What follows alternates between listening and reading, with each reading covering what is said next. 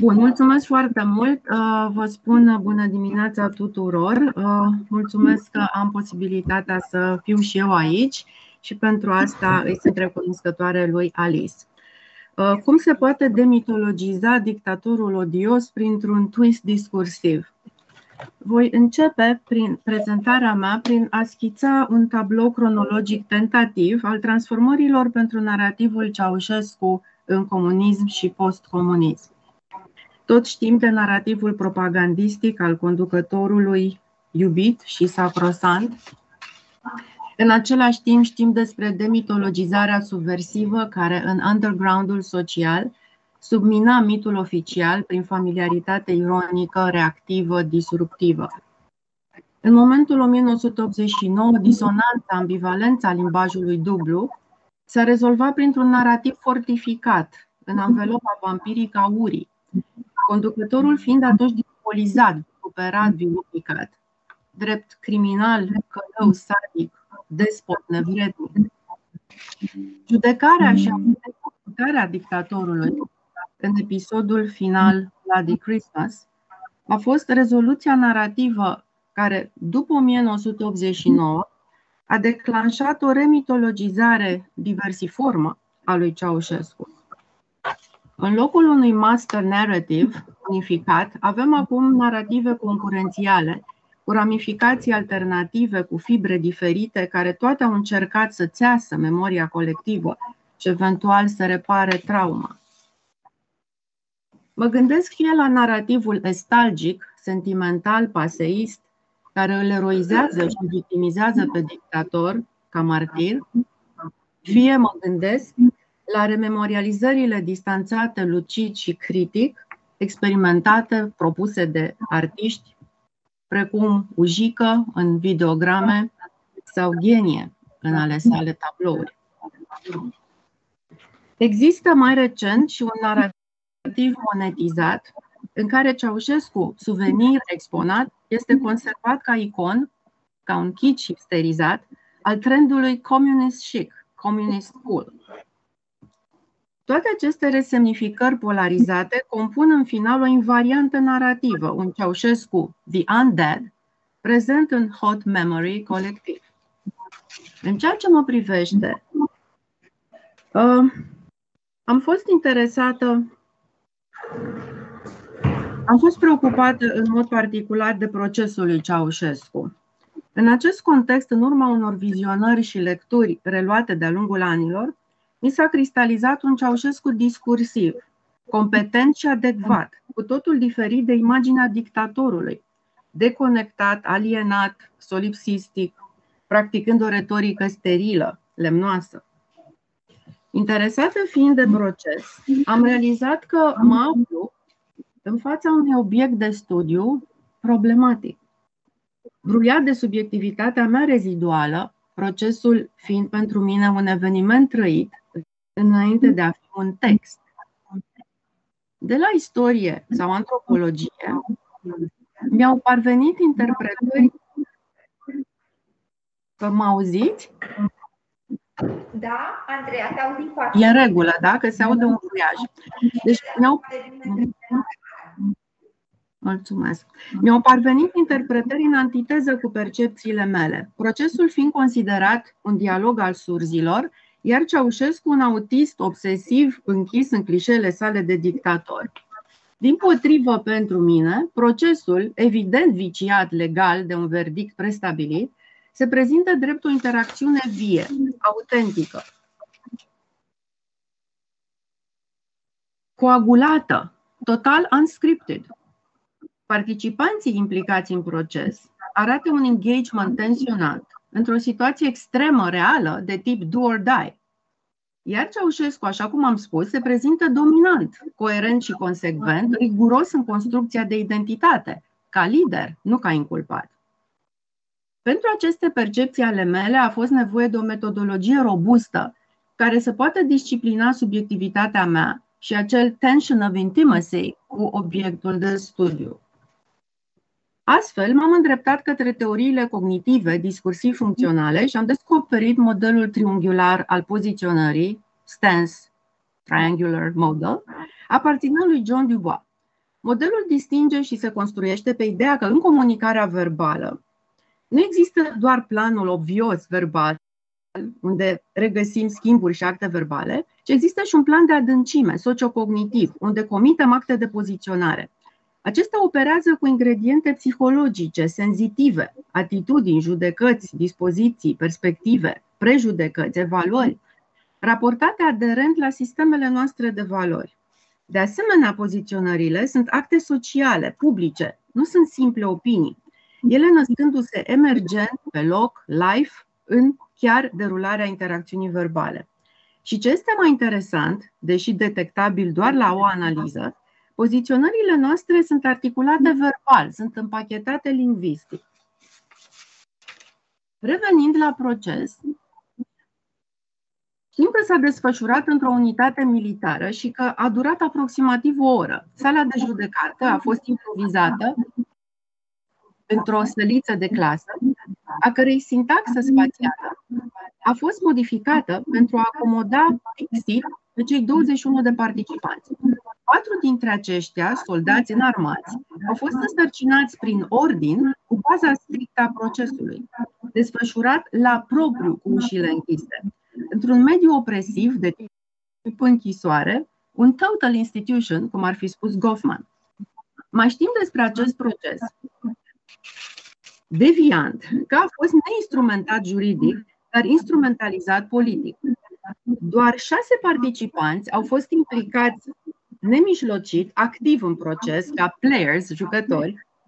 Dintre aceștia, legalii, în număr de patru, și-au deteriorat și dizolvat rolurile inițiale distincte, judecător, procuror, avocați, și s-au constituit într-o tabără de acuzatori, antagonizând pe cei doi inculpați, formând cuplul dictatorial.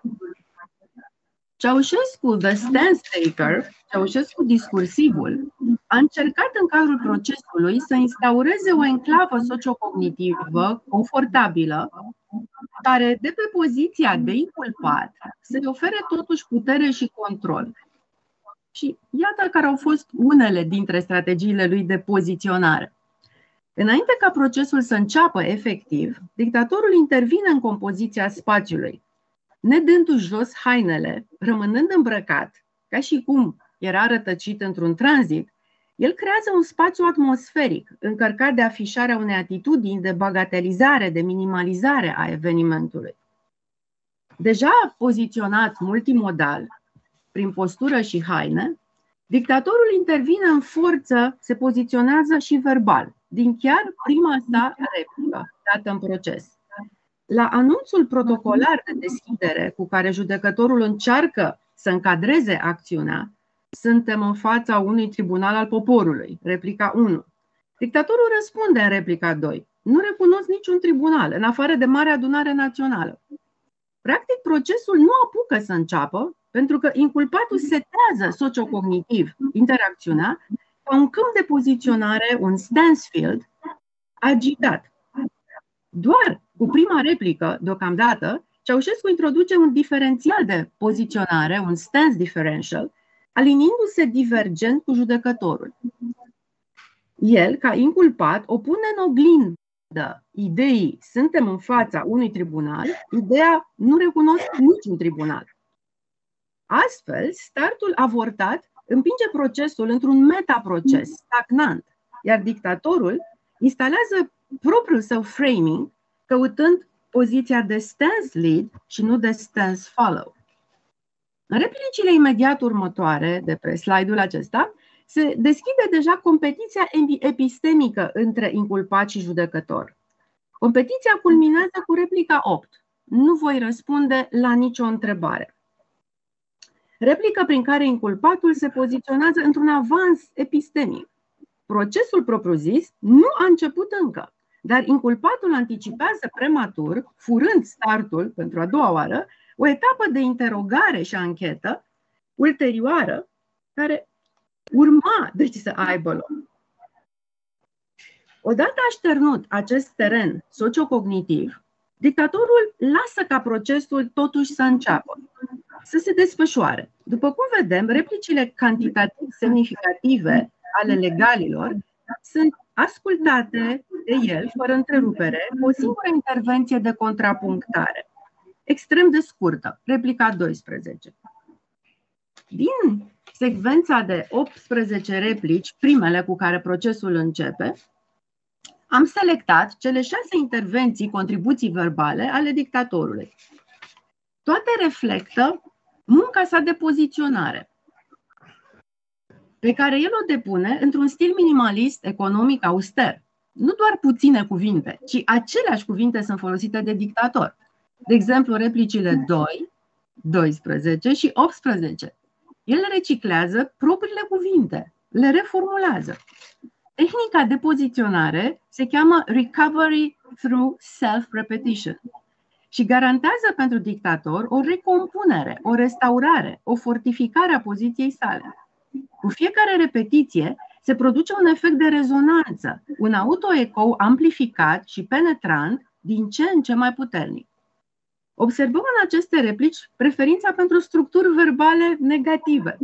Nu recunosc, nu poate fi recunoscută, nu voi răspunde, nu dau socoteală, nu recunosc, nu răspund, nu recunosc. În plus, este exploatată prin colexificare o resursă a limbii române.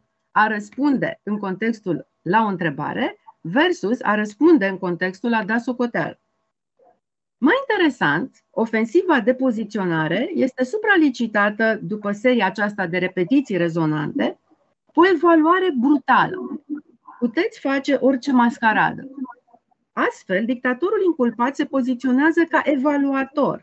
El însumează și delegitimează toată munca de echipă a legalilor, care fiecare încercaseră până aici să sublinieze că acțiunea desfășurată este o judecată în fața unui tribunal. Mai mult decât atât, inculpatul îl provoacă pe judecător la o poziționare urgentă.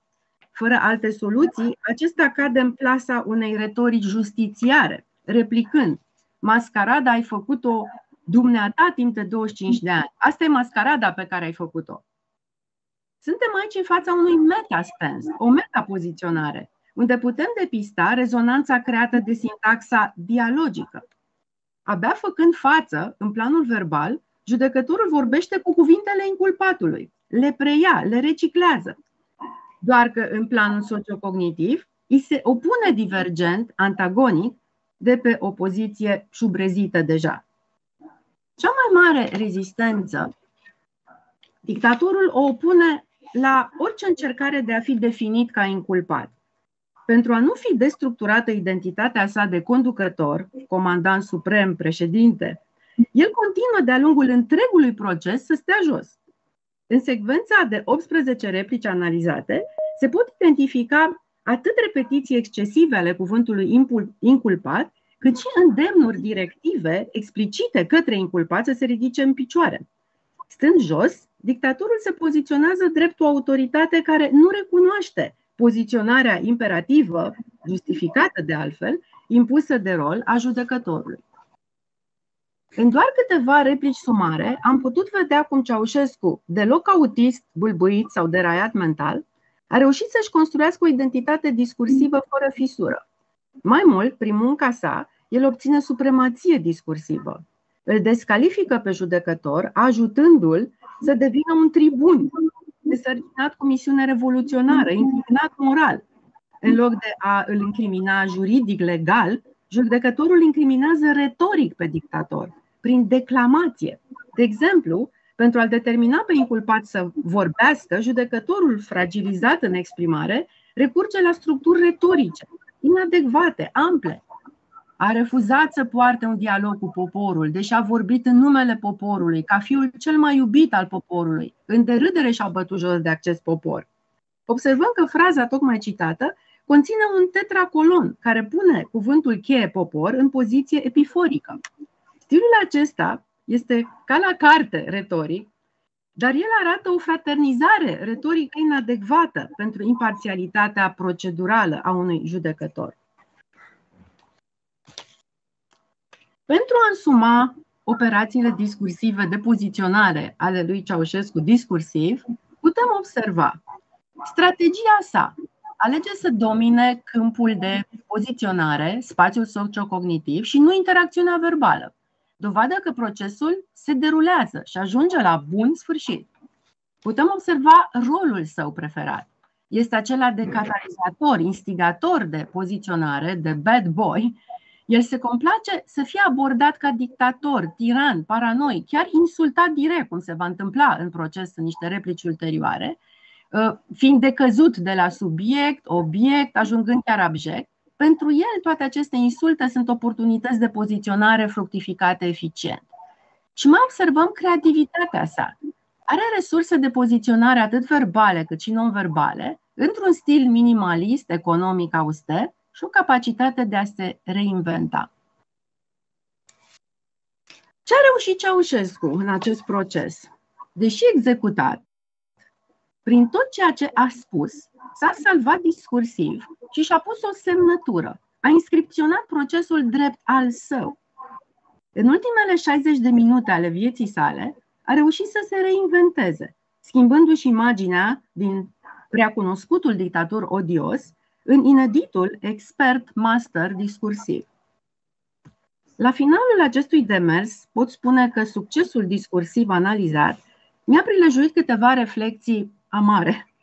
Am putut vedea cum nu contează cine ești în realitate, persoana, ființa ta, atâta timp cât ca entitate discursivă te poziționezi eficient. Modelul sociodiscursiv folosit lasă loc de amoralitate, de abordare, de adaptare tranzacțională, conjuncturală, care pune între paranteze conștiința, adevărul, realitatea. De fapt, autorul Dubois chiar vorbește în studiul său despre stance taking, poziționare, de această poziționare ca business, currency, gaming, promovând indirect o, precari- o precaritate a conștiinței vorbitorului poziționant. În același timp, privind și la eșecul discursiv, reprezentat la proces de judecător, s-a potrivit să zăbovesc asupra ceea ce Dubois avertiza în legătură cu poziționarea. Caracterul ei stigmatizant, neretractabil. Severitatea poziționării, dar și accountability, responsabilitatea care este impusă, fie și în condiții extreme de viață, în care te trezești pus, nu ai ales să fii pus. Este cazul judecătorului, verdantul definitiv din acest proces. Vă mulțumesc! Mulțumim și noi mult, Andreea!